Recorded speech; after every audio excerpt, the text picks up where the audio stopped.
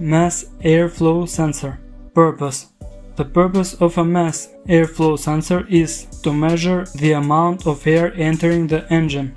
The ECU or PCM then uses this information to calculate the correct amount of fuel needed for an optimal air-fuel ratio.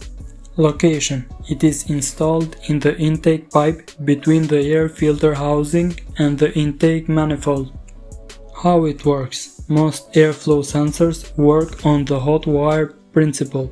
It has two sensing wires. One is heated by an electrical current, the other is not. As air flows across the heated wire, it cools down. When the temperature changes between the two sensing wires, the MAF sensor automatically increases or decreases the current to the heated wire to compensate. Why does MAF sensor fails? The MAF sensor usually fails as a result of contamination. Dust, dirt and other debris can all get into the sensor and this is one of the primary causes of MAF failure. Signs when MAF sensor goes bad. 1. Check engine light. The most common sign of mass airflow sensor failure is a lit up check engine light. It could potentially signal a damaged or faulty mass airflow sensor. 2. Jerking and or hesitation. If you are noticing unusual hesitation and or sudden abnormal jolts of power, this can be a sign of mass airflow sensor problems. This may happen while speeding up on the highway on a ramp or cruising down a street at regular speed. 3. Misfiring, rough running. Without a proper signal from the mass airflow sensor, the powertrain control module PCM, which manage the engine, transmission and other systems in your car, won't know how much fuel the engine needs. This can either cause the engine to run too lean, too little fuel, or too rich, too much fuel. The result is an incomplete combustion process, which can lead to rough engine running and misfiring. 4. Lean idling. If your car seems to be struggling for power and stalling a lot, it may be getting too much air in the engine and too little fuel. This can cause the combustion process to fail, which is often affected by dirty buildup on the wires in the mass airflow sensor.